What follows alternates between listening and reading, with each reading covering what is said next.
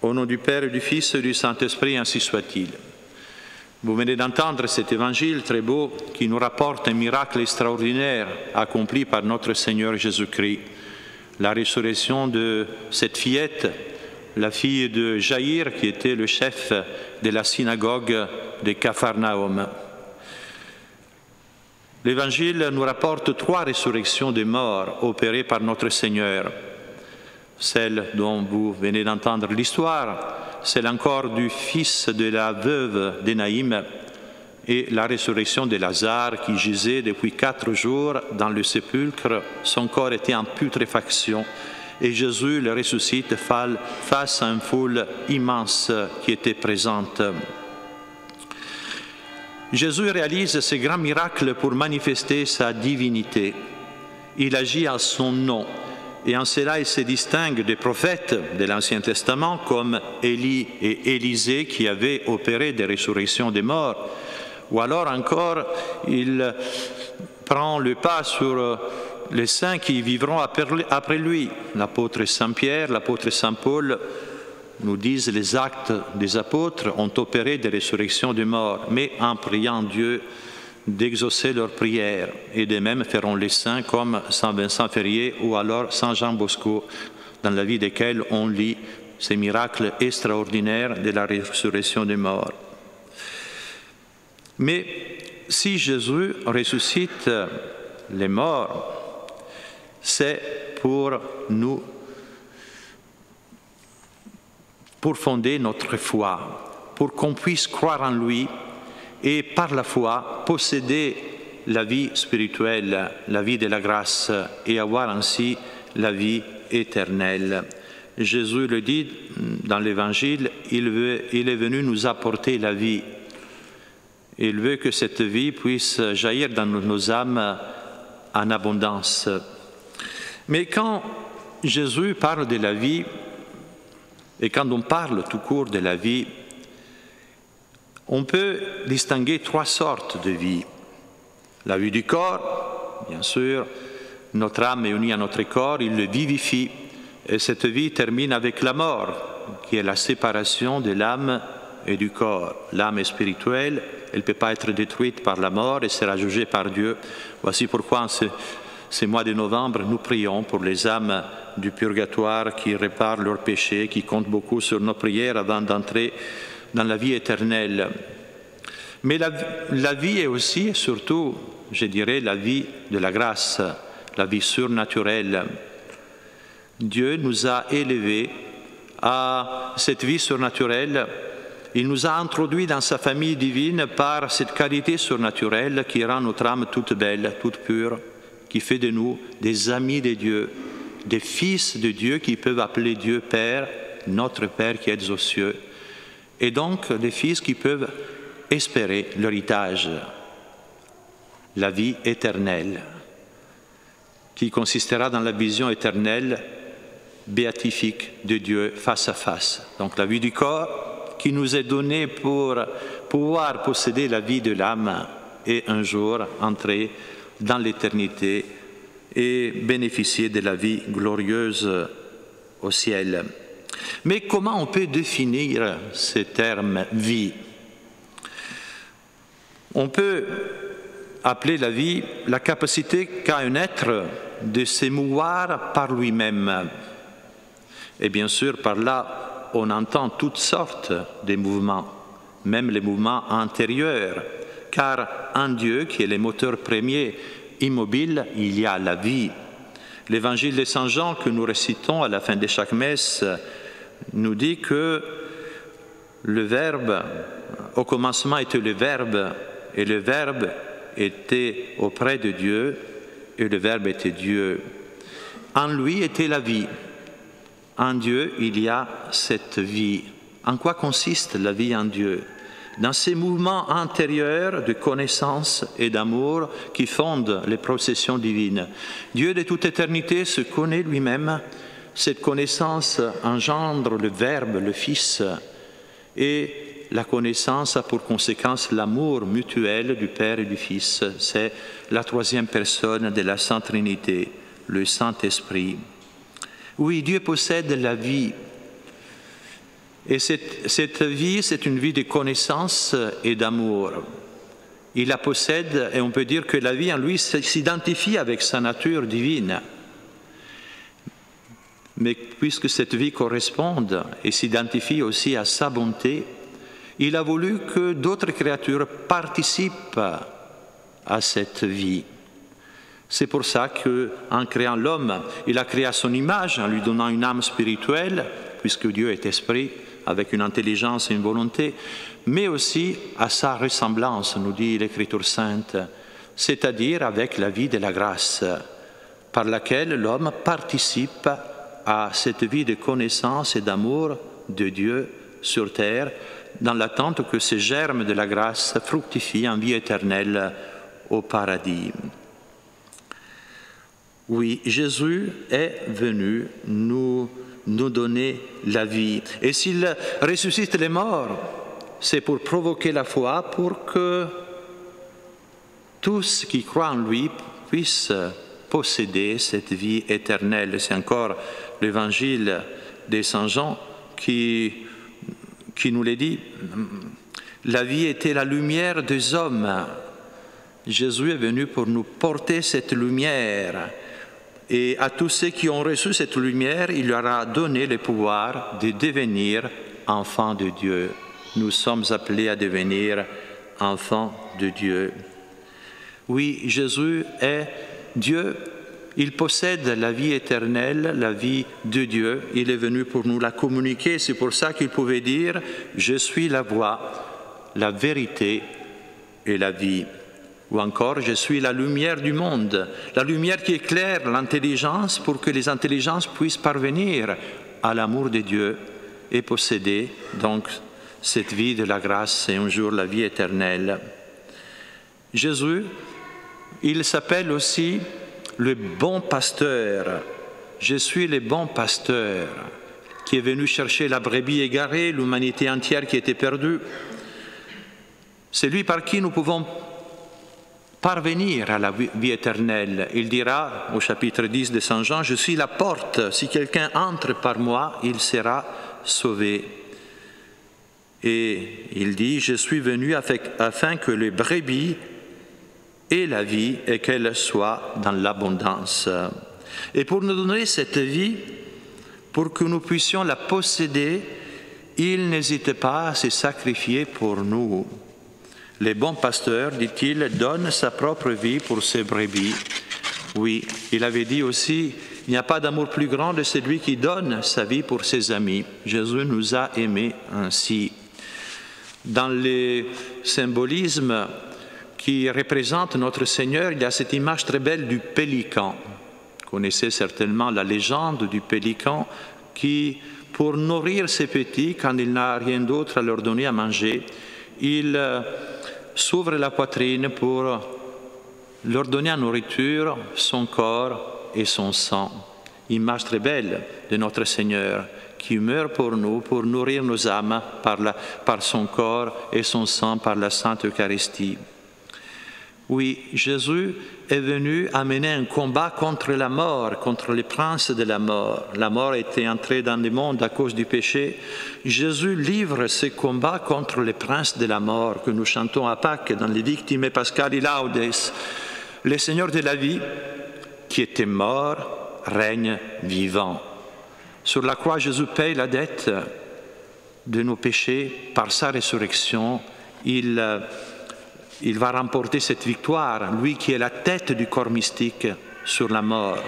Il est la prémisse de ressusciter et nous aussi un jour, nous remporterons cette victoire sur la mort, d'abord sur les péchés qui, est, qui donnent la mort à l'âme, mais à la fin du monde, nous retrouverons notre corps glorieux qui, semblable à celui de notre Seigneur, comme nous le rappelle Saint Paul dans l'épître que nous venons de lire. Notre, notre habitation est dans les cieux, dit Saint Paul, d'où nous attendons comme Sauveur le Seigneur Jésus-Christ, qui transformera notre corps si misérable en le rendant semblable à son corps glorieux. Oui, Jésus est le prince de la vie. Et à Marthe, face au tombeau de Lazare où il gisait son ami, Jésus lui dit, Je suis la résurrection et la vie. Celui qui croit en moi, fût-il mort, vivra. Et quiconque vit et croit en moi ne mourra jamais. Quelles sont donc les conséquences de ces grands principes? C'est que la vie du corps n'est pas le bien le plus grand que nous possédons. Elle nous est donnée pour un bien qui lui est supérieur, pour que nous puissions posséder la vie de la grâce et sur terre chercher l'union à Dieu un jour posséder, parvenir à la vie éternelle. Voici pourquoi Jésus nous dit dans l'Évangile, ne craignez pas ceux qui tuent les corps et qui ne peuvent tuer l'âme. Craignez plutôt celui qui peut faire périr l'âme et le corps dans la gêne, c'est-à-dire l'enfer. Le vrai mal, et nous le savons, nous les chrétiens, n'est pas la maladie, n'est pas la souffrance, n'est pas la mort. Le vrai mal, c'est le péché, le seul mal qui nous, peut nous priver de Dieu dans cette vie et dans la vie future. Voici pourquoi les grands saints, comme Saint Dominique Savio, disaient plutôt mourir que commettre un seul péché.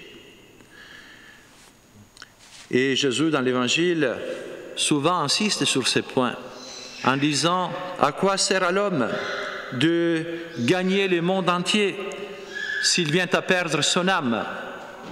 Ou encore, celui qui aime sa vie la perdra, celui qui la méprise en ce monde la conservera pour la vie éternelle. La vie, c'est un don de Dieu, bien sûr, nous devons la conserver. Mais, quelquefois, le fait de posséder la vie peut peut-être entrer en contraste avec notre fidélité à Dieu, à notre Seigneur Jésus-Christ. Et alors nous devons être prêts, comme l'ont fait les martyrs, même à sacrifier notre vie pour un bien plus grand qui est la vie de la grâce, qui est la vie éternelle. Nous n'avons qu'une vie à passer sur terre elle passe vite. Et nous avons des ennemis qui essayent de nous faire perdre la vie de la grâce, notamment les passions désordonnées qui restent en nous suite au péché originel.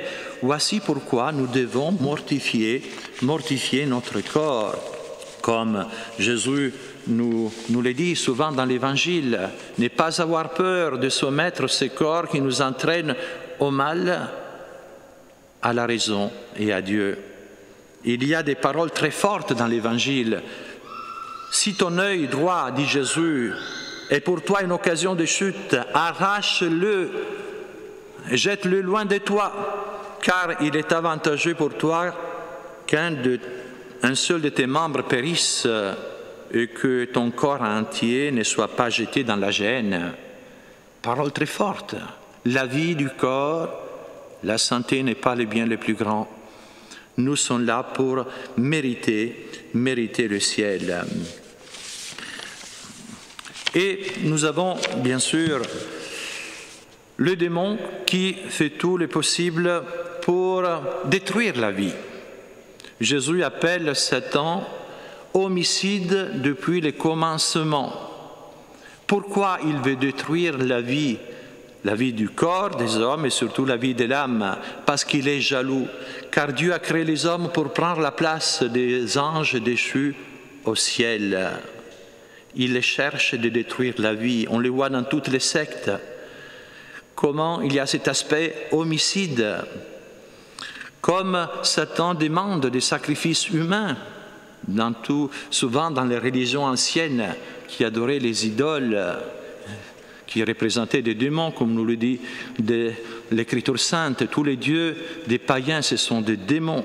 Il y avait des sacrifices humains, encore pratiqués, hélas, aujourd'hui, dans des sectes satanistes.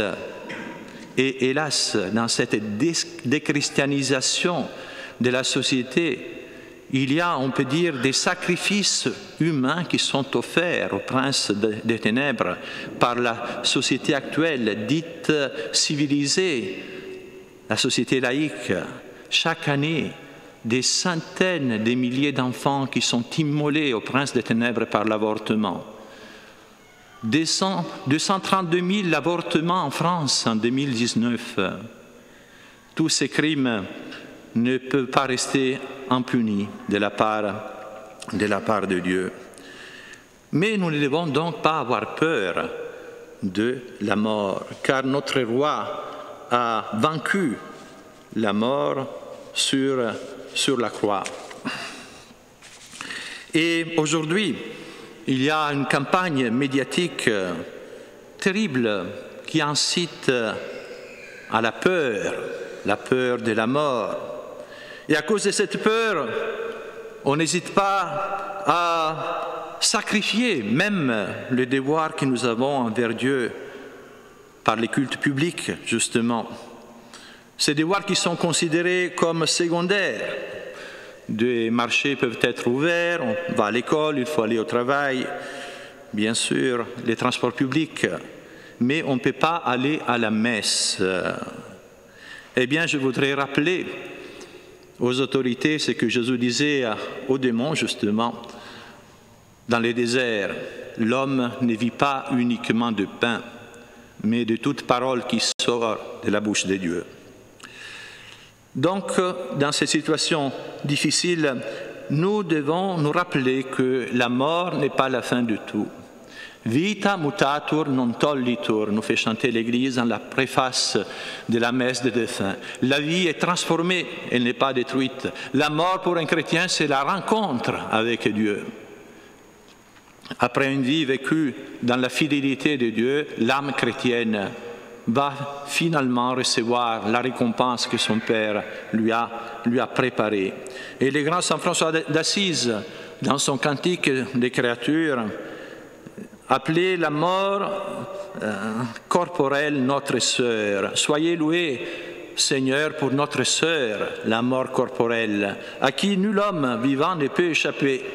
Malheur à ceux qui meurent en péché mortel, c'est ça le seul mal.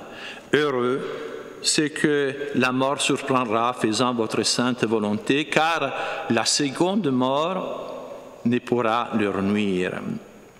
Alors demandons à la Sainte Vierge la grâce de pouvoir alimenter notre vie spirituelle, même dans ces temps si difficiles. Et comment l'alimenter Jésus nous l'a dit, par la Sainte Eucharistie. C'est ce discours magnifique du pain de vie que Jésus a prononcé dans la synagogue de Capharnaüm après la multiplication du pain. Jésus dit, je suis le pain de vie descendu du ciel. Vos, vos, pères ont mangé la manne dans le désert et ils sont morts. Je suis le pain vivant qui est descendu du ciel. Si quelqu'un mange de ce pain, il vivra éternellement. Et le pain que je donnerai, c'est ma chair pour le salut du monde. Si vous ne mangez pas la chair du Fils de l'homme et ne buvez pas son sang, vous n'aurez pas la vie en vous-même. Celui qui mange ma chair et boit mon sang a la vie éternelle, et moi je le ressusciterai au dernier jour. Celui qui mange ma chair et boit mon sang demeure en moi, et moi en lui. Et celui qui me mange vivra aussi pour moi. Quel programme ces mots, nous devrions les méditer, surtout dans ces moments difficiles, pour faire tous les sacrifices nécessaires pour venir recevoir la Sainte Communion. Alors demandons à la Sainte Vierge qu'elle nous donne cette foi profonde à notre Seigneur, à ses divinités, et avoir cette juste conception de la vie, la vie du corps, la vie de l'âme et la vie éternelle. La Vierge Marie a engendré l'auteur de la vie, notre Seigneur Jésus-Christ. Et elle nous a engendrés aussi à la vie spirituelle au pied de la croix, en unissant ses souffrances maternelles au sacrifice de son Fils pour que nous puissions avoir cette vie de l'âme qui nous conduira à la vie éternelle.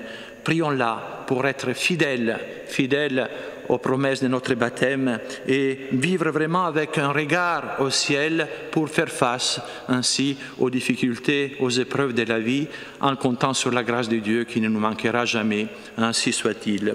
Au nom du Père et du Fils et du Saint-Esprit, ainsi soit-il.